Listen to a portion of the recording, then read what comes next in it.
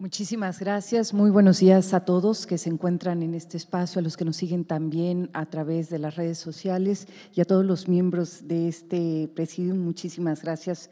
Muy buenos días. Pues en esta edición, Fil Pensamiento, el programa que organiza la Universidad de Guadalajara a través de sus centros universitarios y sus coordinaciones generales, celebra la diversidad cultural de la Unión Europea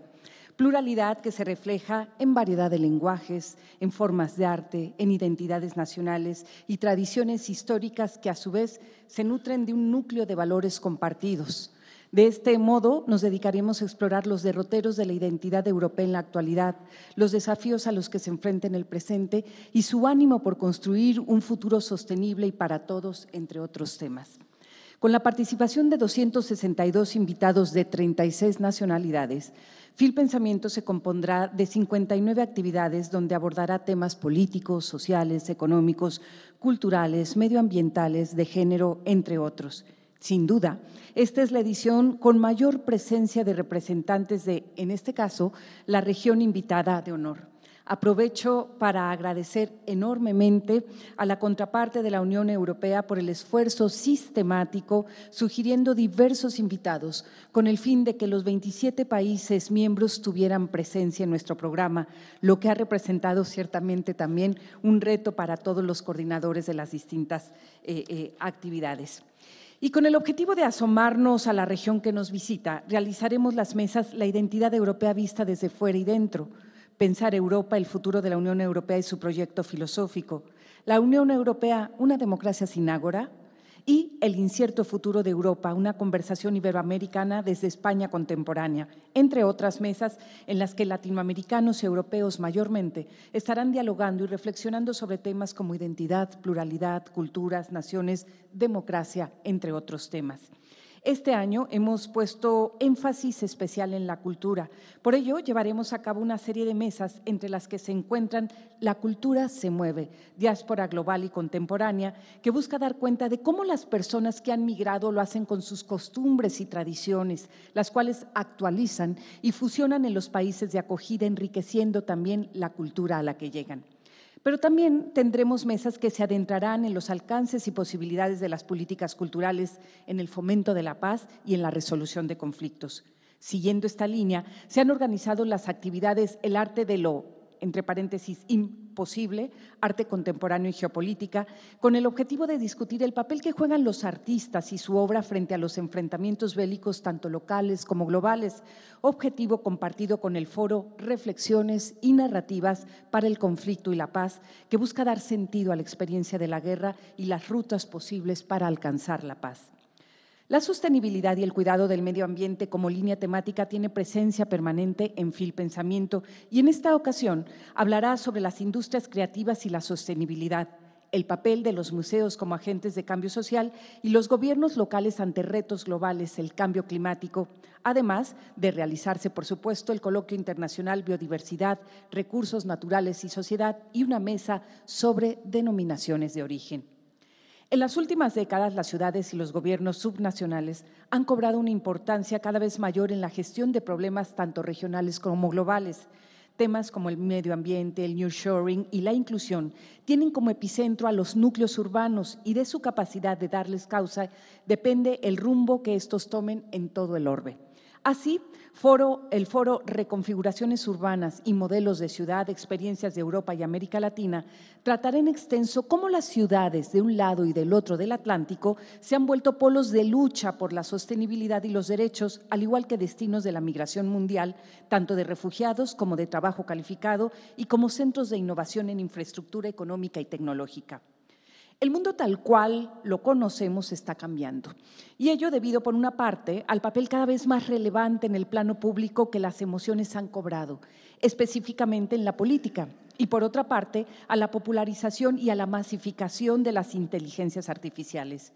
Fiel Pensamiento ha abierto un espacio para debatir cuáles son las implicaciones de los sentimientos y las emociones como motor de movilización política en las democracias contemporáneas y la intromisión de las inteligencias artificiales en casi todos los ámbitos de la actividad humana, desde la íntima hasta al trabajo y los gobiernos. Así, en la mesa denominada Los Rabiosos Veintes, Ira y Política en las tres primeras décadas del siglo XXI, se cuestionará si en emociones como la furia y el encono se pueden rastrear los motivos profundos que expliquen las transformaciones políticas del presente milenio, mientras que de muro a muro, en esta edición titulado Esto sí es personal, políticas y afectos en un mundo polarizado, explorará los sentimientos y los valores involucrados en la participación política.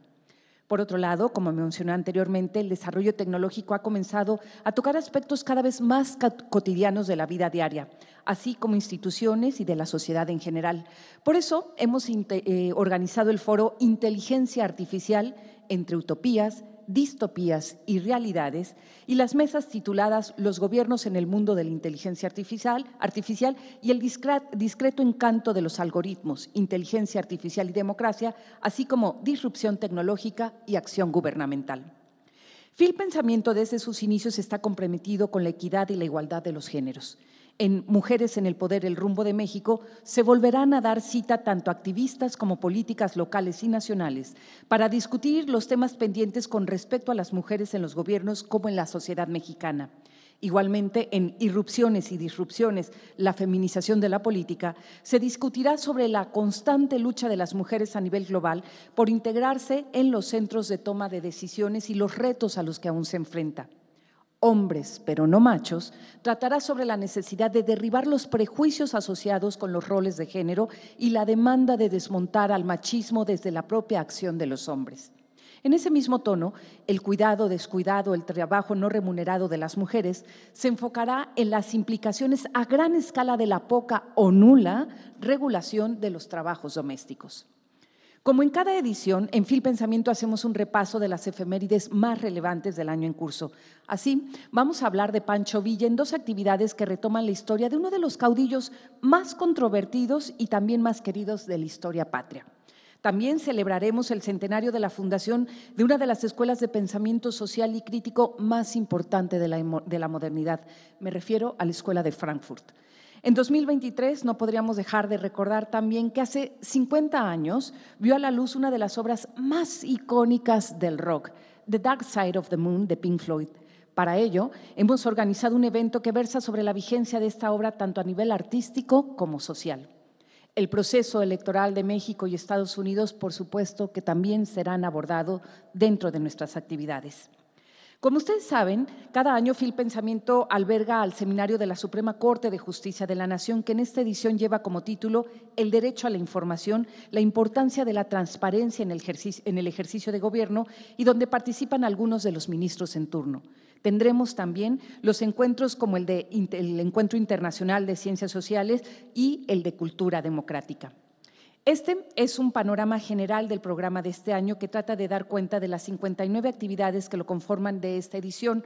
Nuestro objetivo es, como siempre, ser un foro de las ideas donde los problemas y los retos más apremiantes de nuestras sociedades sean discutidos desde una óptica plural e inclusiva, donde predomine el diálogo, el intercambio y la aceptación de la diferencia. Para consultar los detalles del programa pueden visitar la feria de la página de, eh, de, la FIL, donde vienen las 59 actividades de las que hemos hecho tan solo aquí referencia a algunas de ellas. Muchísimas gracias.